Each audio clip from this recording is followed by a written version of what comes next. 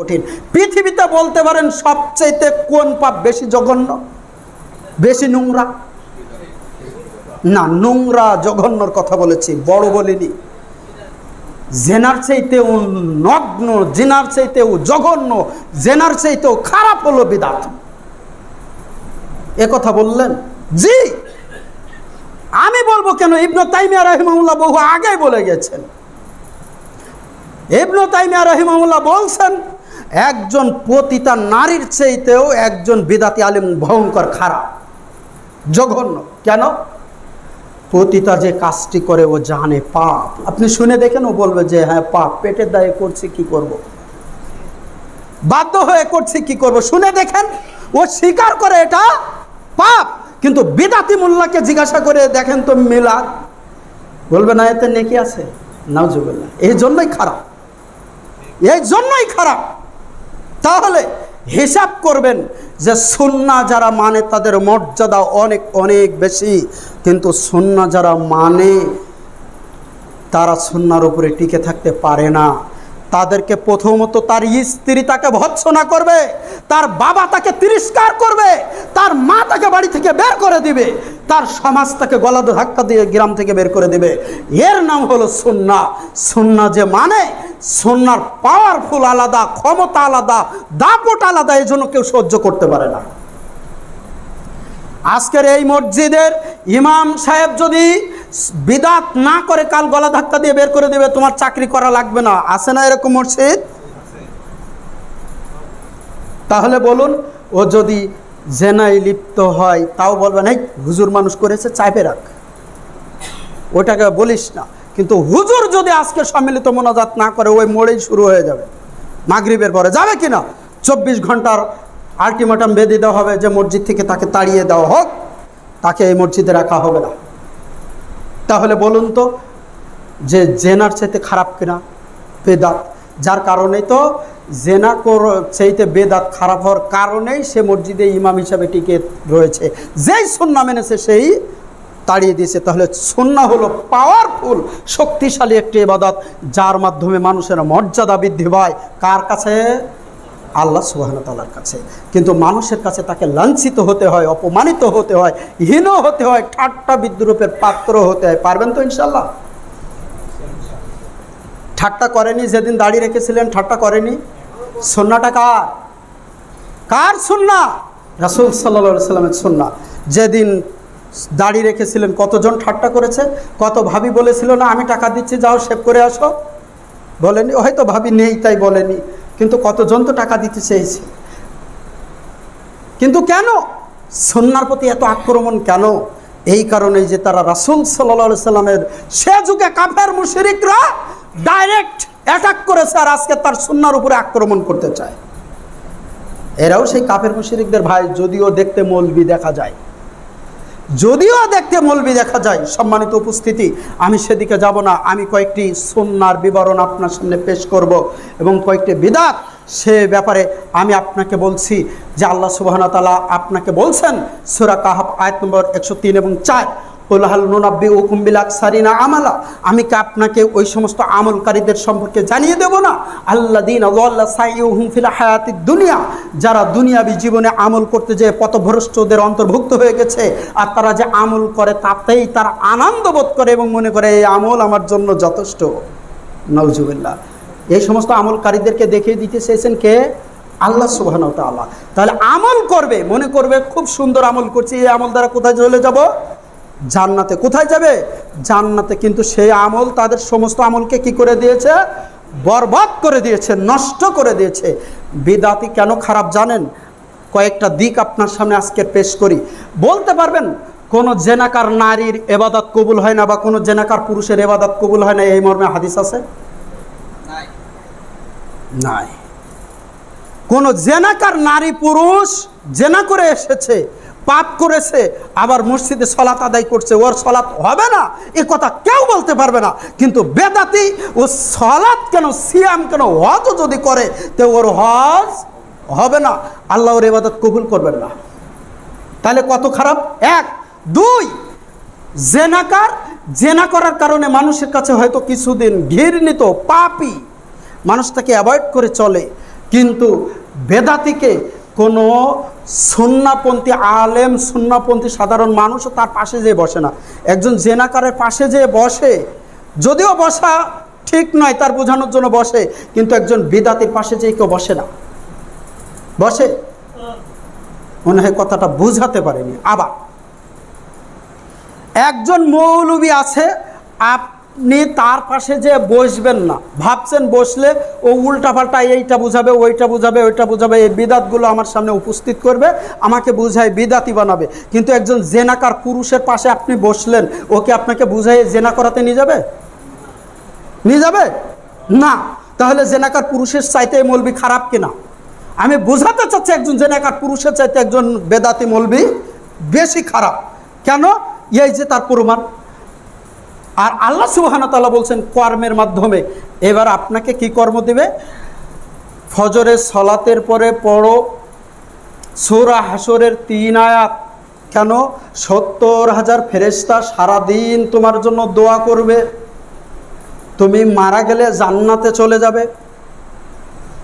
হাদিস যা আমল করা যাবে। আমল করলে কি হবে? বিদাত হবে। কারণ আল্লাহর নবী যে আমল করেননি, ওই আমল করা যাবে না। শরীয়ত পরিপূর্ণ না অপূর্ণ? তা পরিপূর্ণ শরীয়তের মধ্যে এই যে আবর্জনা ঢোকাচ্ছে, এখান থেকে সন্না উঠে যাবে কি যাবে না? তাহলে সন্না যখন উঠে যাবে, ওর ভাগ্য ওই শেষ করল। তাহলে এক নম্বর ফজরের সলাতের পরে আমি আপনাকে বলব, এমন কোনো ইবাদত দেখাতে পারবেন না যার ভিতরে বিদাত ঢুকানো নেই। একটা ইবাদতের কথা বলেন, দেখেন কতগুলো বিদাত আছে, আমি দেখাই দেই আপনাকে। একটা ইবাদতের কথা বলেন। একটা ইবাদতের কথা বলেন, সবগুলাই তো ইবাদত। মুমিনের সবগুলাই কি? এবাদত কোরআন তেলত কি? এবাদত নয় কি? কোরআন তেলত দিয়ে আপনাকে বলি, কোরআন তেলতে বিদাত কোথায়? আছে না নেই? কোরআন তেলতের শেষে যখন সদকল্লাহুল আজিম খতমে দোয়া হিসাবে এক পৃষ্ঠা আছে, পড়া হবে এটা বিদাত। কোরআন তেলত ইবাদাত, তার সাথে কি আছে? বেদাত আছে না নেই? এরপরে এই কোরআন তেলত এইখানে করলে বিদাত হয়, আবার কোরআন তেলত যদি কবরস্থানে যেয়ে করে তাহলে পাপ হয়। এটা বেদাত হলো, এটাও পাপ। কবরস্থানে যে কোরআন তেলত করলে কি হবে? পাপ হবে। কবরস্থানে কোরআন তেলত করেছেন কখনো? করেননি এমন কেউ আছেন? না, সবাই করেছেন। কোরআন তেলত করেছেন? সোরা নাচ তিনবার পড়েন, সোরা ফালাক তিনবার পড়েন, সোরা ফাতেহা সাতবার পড়েন, দুরুদ তিনবার পড়েন পড়েন নাকি ডাক ডাক? সন্না না বেদাত? বেদাত। এবাদত দেখান একটা যেখানে বেদাত নেই। আপনি কবর জিয়ারাত, এক একই করতে যাবেন না, সবাই মিলে যাবেন? আলহামদুলিল্লাহ, বুঝতে পেরেছেন। সম্মিলিতভাবে কবর জিয়ারাত করলে কি হবে? বেদাত। কবর কোন দিক ফিরে জিয়ারাত করতে হয়? কেবলার দিক ফিরে। আর আপনি তো এতদিন কবরের থেকে পথ যেদিকে সেদিক ফিরেই করেছেন। কবর যদি এদিকে হয়, এদিক থেকে এসে উত্তর দিকে দাঁড়িয়েছেন কবর সামনে নিয়ে। দাঁড়িয়েছেন কি না সুন্না না বিদাত? তাহলে দেখেন বিদাত যেখানেই আছে এবাদাত, সেখানেই আছে বিদাত। এরপর আমি আপনাকে নিয়ে আসি মানে একেবারে শুরুতেই আজানে নিয়ে আসি। আজানে কোনো বিদাত আছে? বলতে পারবেন আজানের শুরুতে আজানের পূর্বে কি কি বিদাত আছে? আজানের পূর্বে বিদাত হলো আগে কোরআন তেলত করে নেওয়া তারপর একটা শায়ের বা শের কবিতা বা গজল আবৃত্তি করা, তারপর আউজুবিল্লা বিসমিল্লা বলা, তারপর আজান দেওয়া। আজানের আগে আউজুবিল্লা বিসমিল্লাও নাই, কোরআন তেলত বৈধ নয় হ্যাঁ দুরুদে ইব্রাহিমও বৈধ নয়, গান গজল এগুলো কোনোটাই বৈধ নয়, সবগুলোই বিদাত। আছে না নাই? তাহলে এই বিদাতকে কোন বাপ দেখাবে যে এইগুলা বিদাত করলে পাপ হয়? কাজটি খারাপ করছিল না ভালো করছিল? কিন্তু বিদাত তো ভালো হয় না, বেদাত তো জেনার চাইতে খারাপ। আপনি ভালো করলে বললেন কেন? কেন খারাপ বললাম? যা করলে পাপ হয়। তাই এমন পাপ, জেনাকারের কি পদ্মার দরজা বন্ধ আছে? তওবার দরজা বন্ধ আছে? কোন জেনাকার নারী পুরুষের তওবার দরজা বন্ধ আছে? অথচ সিলসিলা সহিয়ার ষোলোশো বিশ নম্বর হাদিস আল্লাহ নবী বলছেন, ইন্নাল্লাহ হাজাবাত তওবা আঙ্কুলি সাহিবি বিদিন প্রত্যেক বিদাতি তওবার দরজা বন্ধ। হাত্তা এদা বিদাতুহু, যতক্ষণ না পর্যন্ত সে বিদাত পরিত্যাগ করে। তাহলে বেদাতি কত খারাপ? হিসাব করেন, মৌলবি দেখলেই সম্মান করবেন না, মৌলবিকে সম্মান করলেও পাপ হবে। এই আবার কি কইতেছেন? আর এক বিপদে ফেলে দিলেন তো। যে না বিদাতিকে সম্মান করাটাই হলো ইসলামকে ধ্বংস করা। বেদাত কত খারাপ?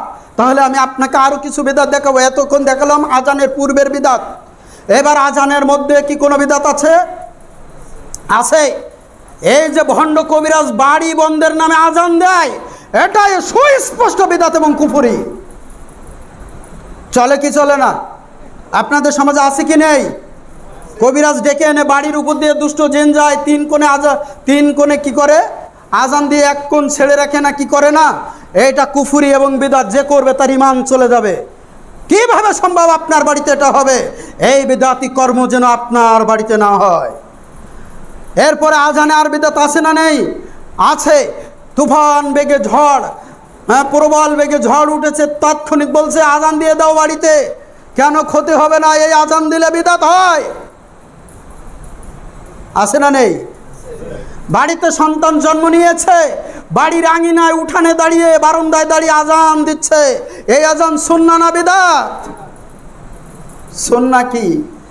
যদিও হাদিসটি এ মর্মে আলবানি বলছেন জয়ীফ, কেউ কেউ বলছেন হাসান পর্যায়ে যদি আজান একান্তই দিতে হয়, নবজাতককে হাতে নিয়ে তার কানের কাছে দিতে হবে।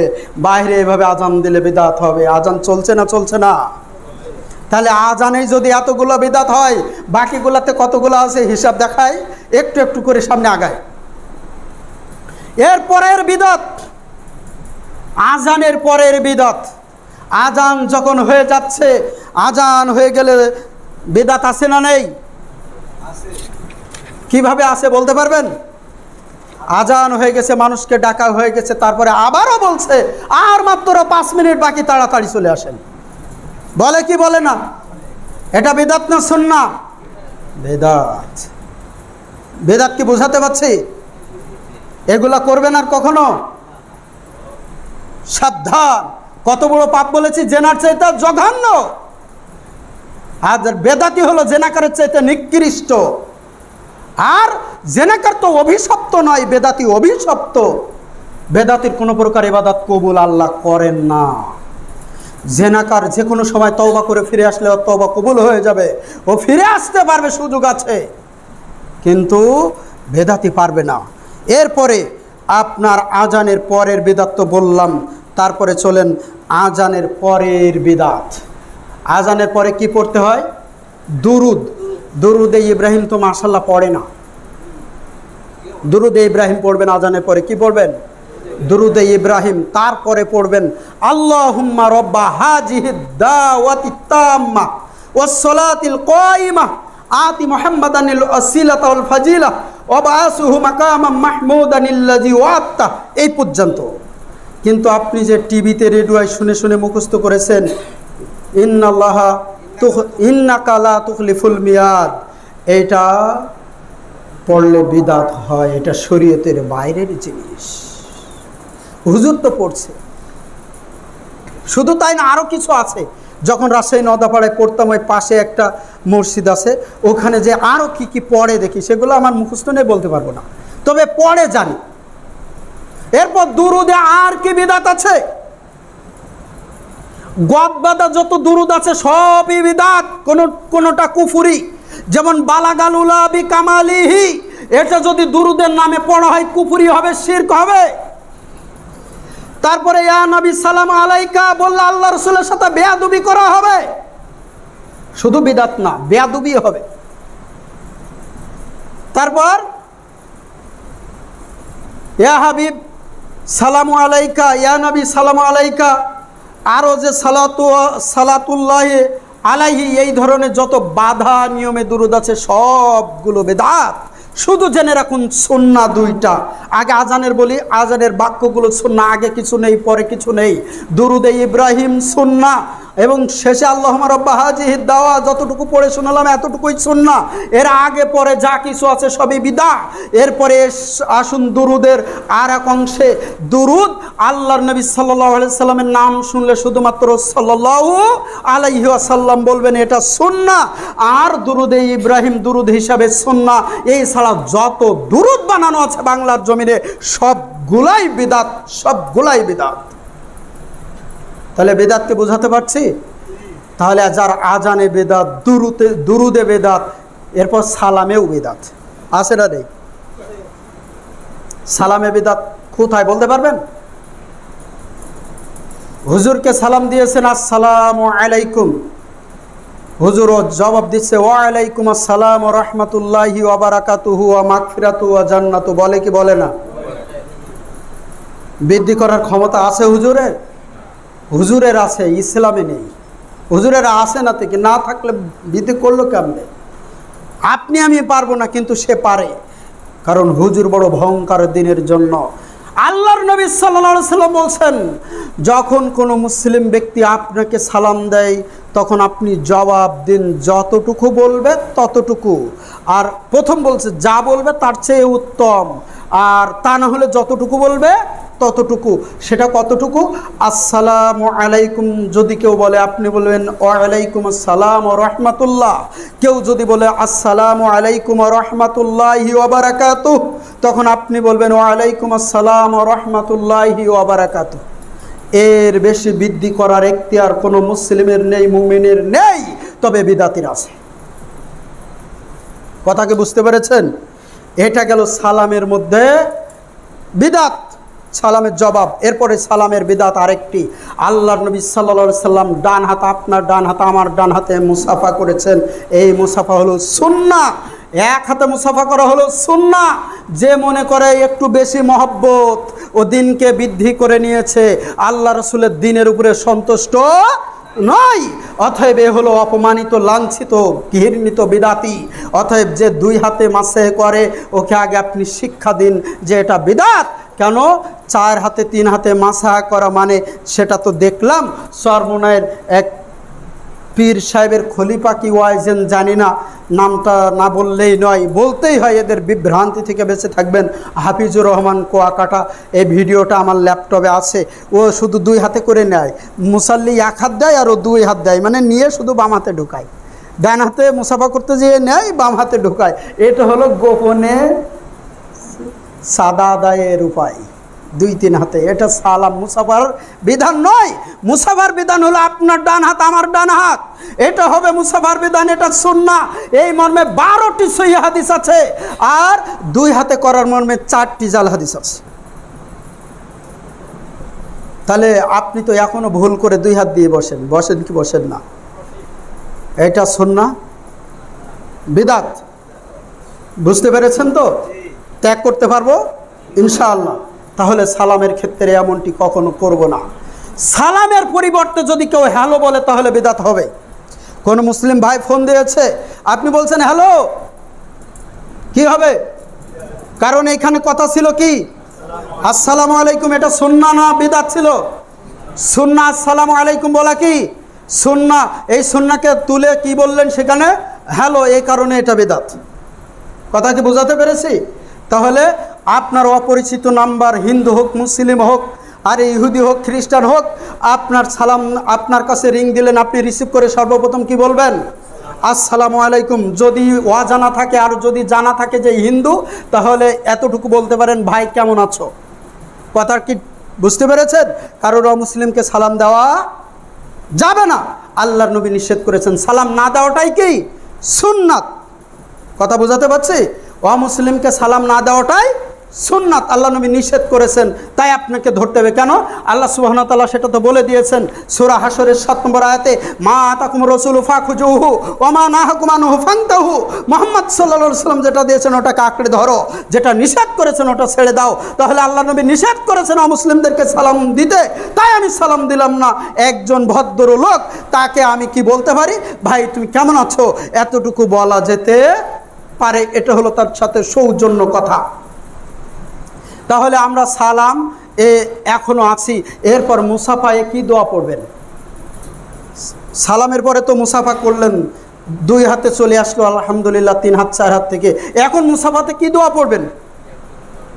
এক ফিরুল্লাহ লানাওয়ালাকুম কে কে পড়েন? এ দোয়া কার কার মুখস্থ আছে?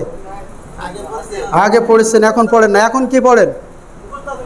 মাশাল্লাহ আলহামদুলিল্লাহ, আল্লাহ আপনাদের হেফাজত করুন। আল্লাহ আমিন। এই এক ফিরুল্লাহ লানাওয়ালাকুম এটা জাল হাদিসেও নাই। তবে নাহমাদুল্লাহ ওয়ানাস্তাগ ফিরহু এটা একটা জয়ীফ হাদিস আছে। কে কে আমল করেন? আমল করবেন না। তাহলে মুসাফা করে তো লাভ নেই। দোয়া তো সবই তুলে দিলেন মুসাফা করে লাভ কি? লাভ আছে মুসাফা করে আছে। চলুন কি লাভ? দেখে আসি। আবু দাউদ সনদ সহি। রাসূল সাল্লাল্লাহু সাল্লাম বলছেন মামিন মুসলিমান ইয়ালতাকিয়ানে ফায়াতাসাফাহানে গুফির আলাহুমা ক্বাবলা আন যখন দুইজন মুসলিম আল্লাহর সন্তুষ্টির উদ্দেশ্যে পরস্পর একত্রিত হয়, সালাম বিনিময় করে, মুসাফা করে, উভয় পৃথক হওয়ার পূর্বে গুফির আলাহুমা গুফির আলাহুমা কবলা আনে আফতারিকান আল্লাহ উভয়ের সাগিরা গুণা ক্ষমা করে দেন সুবাহান আল্লাহ উভয় ফিরিতা খাওয়ার পূর্বেই। তাহলে মুসাফা কেন করব? আমার ভাইয়েরও সাগিরা গুণা ঝরে যাবে, আমারও ঝরে যাবে। এই জন্য আল্লাহর সন্তুষ্টির উদ্দেশ্যে আমি মুসাফা করব। কথা কি বুঝতে পেরেছেন? এটাই সন্না এরপরে সালামে আরও কিছু বিদাত। মাথা নিচু করে, হাত উঁচু করে সালাম দেওয়া। আবার অনেকে, আসসালামু আলাইকুম। এরকম করে নাকি? বেদাত। সালাম হবে মুখে, হাতের ইশারা নয়, তবে হাতের ইশারা নিয়ে একতেলাপ আছে। অনেক দূরে যদি কেউ থাকে আর আপনার দিকে তাকিয়ে আছে, আপনি হাত উঁচু করে ঘাড় বাঁকা করলে সে বুঝতে পারে যে আপনি সালাম দিয়েছেন। এরকম বুঝতে পারে। সেই ক্ষেত্রে এটা একতেলাফি মশালা আল্লাহ আলমী ব্যাপারে আমার ভালো জানা নেই। তবে এটা একতেলাফি বিষয়। তবে সালাম হবে কোথায়? মুখে হাতের ইশারায় নয়। হাতের ইশারায় কে সালাম দেবে বলুন তো? যে বুবা। মুখের বাক্য নেই। ওই হাত উঁচু করে সালাম দেয়। ও বুঝাতে চায়, যা চাই যে সালাম। বুবা বধির যে মানে মুখে কথা বলতে পারে না, যার বাক শক্তি নেই, সেই হতে দিতে পারে। কিন্তু আপনার তো আল্লাহ বাক শক্তি দিয়েছেন, আপনি সালাম দিবেন কি দিয়ে? এরপর সালাম কোথায় দিবেন আর কোথায় দিবেন না? কোথায় দিবেন আর কোথায় দিবেন না? অমুসলিমদেরকে সালাম দিবেন না বিজাতিদেরকে সালাম দিবেন না। ইহুদি খ্রিস্টানকে সালাম দিবেন না। তাহলে সালামটা দিবেন কোথায়? কবরে? তা কবরেও তো সালাম, শুধু আসসালাম আলাইকুম ইহালাল কুবুর বলা যাবে না। এ দোয়া তো ঠিক নেই। তা কবরে যে কি বলতে হয়? আসসালামু আলা দিয়ারি মিনাল মুমিনিনা ওয়াল মুসলিমিনা ওয়া ইন্না ইনশাআল্লাহু বিকুম লালাহিকুন। আসালুল্লাহ লানা ওয়া লাকুমুল আফিয়া। এই মর্মে সহি মুসলিমের তিনটা হাদিস আছে, আপনি যে কোনো একটা দোয়া মুখস্থ করে নিতে পারেন। তাহলে এটাই বলতে হবে, কবরে যে আসসালামু আলাইকুম এ হালাল কুবুর, এই তো চলে না, এটা বিদাতের অন্তর্ভুক্ত, সন্ন্যার বাইরের জিনিস। এটাই তো মুখস্থ আছে নাকি? তাহলে সুন্দর করে ঠিক করে নেবেন। তওবার দোয়া কোনটা মুখস্থ আছে? তওবা তওবা আস্তাক ফিরুল্লাহ মিনকুল্লি জাম্বিউ ওয়াতুবিলাইহি আছে না নেই? আছে এখনও, তাই না? এই তওবা কে শিখাইলো? মিস্টার ইবলিস যে কবে আইলো, কবে শিখাইলো? জানা নেই, তবে মিস্টার ইবলিসই শিখাইছে এটা। আল্লাহ নবী এটা রেখে যান নাই। আল্লাহ নবী সাল্লাহ সাল্লাম, তিনি বলছেন আস্তাগ ফিরুল্লাহ ওয়াতুবিলাইহি তাহলে তওবাতেও গলত যে রেখে গেল, সে মিস্টার ইবলিস ছাড়া কেউ হতে পারে।